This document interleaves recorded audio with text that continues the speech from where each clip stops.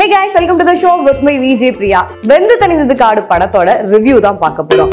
இது ஒரு உண்மையான மனுஷனோட வாழ்க்கை. A life.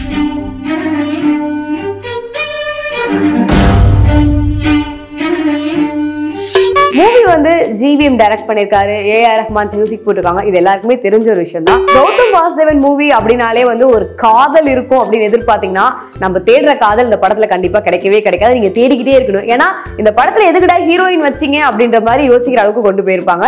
கிட்டத்தட்ட சொல்ல போனீங்கன்னா அந்த பொண்ணுக்கு வந்து நம்ம மூவிலேயே ஒரு ஒரு ஆஃப் அன் ஹவர் தான் வந்து மூவில மூணு மணி நேரம் படத்துல ஒரு ஆஃப் அன் ஹவர் தான் அந்த பொண்ணே காமிக்கிறாங்க அப்படின்னு சொல்லலாம். பெருசா ஹீரோ ஹீரோயினுக்கு வந்து காமிக்கிற மாதிரி பிரம்மாண்டமான ஓப்பனிங்லாம் கிடையாது. வெடி வெடிச்சு பூ தூவி பட்டாசு வெடிச்சு அந்த மாதிரிலாம் எந்த ஒரு ஓப்பனிங்குமே கிடையாது.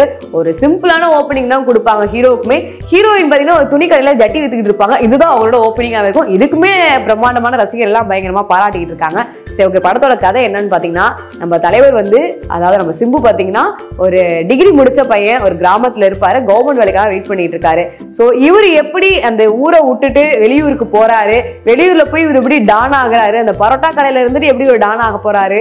அப்புறம் அவர் டான் ஆயிடுவாரு. சரி டான் வேண்டாம் நம்ம திரும்ப நம்ம ஊருக்கே வரலான்னு திரும்பி வரும்போது அதாவது நீ வந்து க கத்தி எடுத்தவனுக்கு கத்தியில தான்டா சாவு அப்படின்ற மாதிரி அது எப்படி ஒரு விடாம துரத்துது? இவர் யாரெல்லாம் பழி வாங்குறாரு? இவர் யார் கூட எப்படி அடியாட்களா போய் சேர்றாரு? அப்புறம் இவர் எப்படி தாதாவாகிறாரு இவர் குடும்பத்தை எப்படி காப்பாத்துறாரு? யார் மூலியமா இவருக்கு இவ்வளோ பெரிய கான்டாக்ட் கிடைக்குது?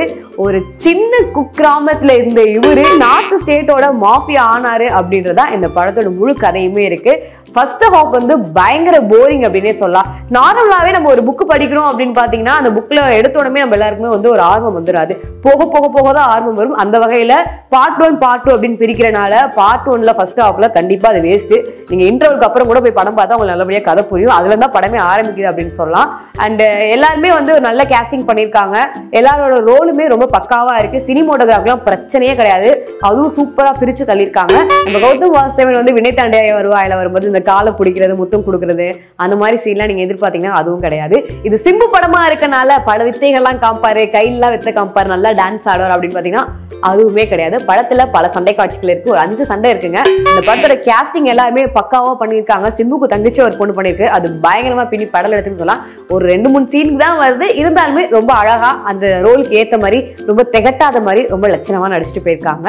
ராதிகா தான் கொஞ்சம் ஓவர் ஆக்ட் பண்ண மாதிரி இருக்கு. ஏன்னா அவங்க எக்ஸ்பீரியன்ஸ் எல்லாம் அதனால கொஞ்சம் ஓவர் ஆக்ட் பண்ணியிருக்காங்க. ஸோ இதை தாண்டி பார்த்தீங்க அப்படின்னா சிம்பு வந்து ஒரு சகலகலாம் வல்லவர். கையிலே வித்த கம்பாரு அவரை பத்தி பல கசமுசாக்கெல்லாம் வந்திருக்கு. இருக்கு. ஸோ அந்த மாதிரி ஏதாவது கசமுசம் அந்த படத்தில் இருக்கு அப்படின்னு பார்த்தீங்கன்னா வாய்ப்பே கிடையாது ராஜா. அதுக்கெல்லாம் துளி கூட வந்து வாய்ப்பு கிடையாது. ஸோ அதை தாண்டி ஏதாவது ரொமான்ஸ் இருக்கும் வினை தாண்டி வருவாங்க மாதிரி காதல் காட்சிகள் முத்த காட்சிகள் இருக்குமா அப்படின்னு கேட்டால் ஒரே ஒரு முத்த காட்சி இருக்கு. அதுவும் நம்ம எதிர்பார்க்குற அளவுக்குலாம் ஒன்றும் கிடையாது. சும்மா காத்து வாக்கில் காதல் மாதிரி ஒரு லைட்டாக ஒரு முத்தம் கொடுத்துட்டு போயிருப்பார்.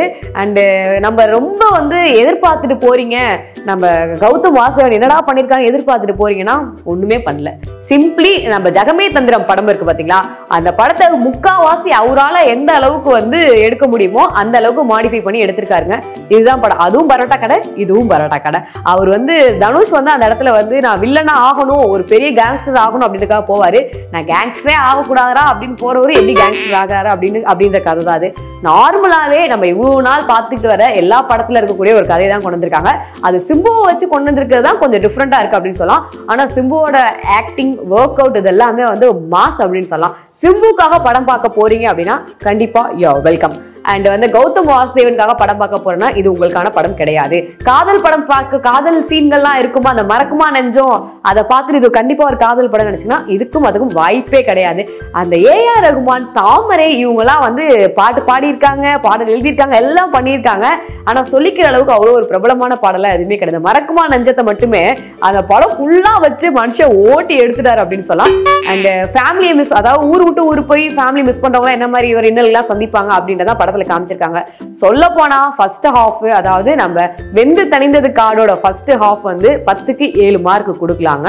சிம்புவோட ஃபேன்ஸா இருந்தீங்கன்னா பத்துக்கு பத்தே கொடுக்கலாம். ஒரு சில இடத்துல வந்து லாஜிக்லாம் மிஸ் ஆகும். ஏன்னா வந்து கல்யாணம் அவங்களுக்கு கல்யாணம்லாம் நடந்துடும் அந்த அது சில நீங்களா போய் டேரக்டா போய் பார்த்தா தான் உங்களுக்கு புரிய வருங்க. இதுதான் மேட்ரு ஒன்று படிச்ச பையன் எப்படி கேங்ஸ்டர் ஆகுறான்? அதுவும் ஊர் பேர் தெரியாத பையன் வெரி வெரி லாங்குவேஜே தெரியாம அந்த இடத்துக்கு போய் எப்படி கேங்ஸ்டர் ஆகுறான். ஹிந்தி பேசுறாரு. அப்புறம் அந்த ஊரே எப்படி கண்ட்ரோலில் கொண்டு வர? கிட்டத்தட்ட இந்த கேஜிஎஃப் ஜகமே தந்திரம் இது எல்லாத்தையுமே சேர்த்து வச்சு நம்ம கௌதம் எடுத்திருக்காரு.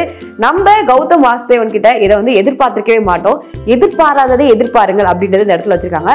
இதுல இன்னொரு முக்கியமான கவனிக்க வேண்டிய விஷயம் என்ன அப்படின்னு பாத்தீங்கன்னா பார்ட் டூல என்னென்ன வரப்போகுது அப்படின்னு ஒரு சில ஹிண்ட் கொடுத்துருப்பாங்க. அதுதான் படத்துல வந்து நம்ம இவ்வளவு நேரம் படம் பார்த்ததுக்கு இதுதான்டா ஒர்த்து அப்படின்னு சொல்லக்கூடிய கடைசி முப்பது நிமிடங்கள். அந்த முப்பது நிமிடங்கள் நம்ம உலக நாயகன் கமலஹாசனை காமிச்சிருப்பாங்க.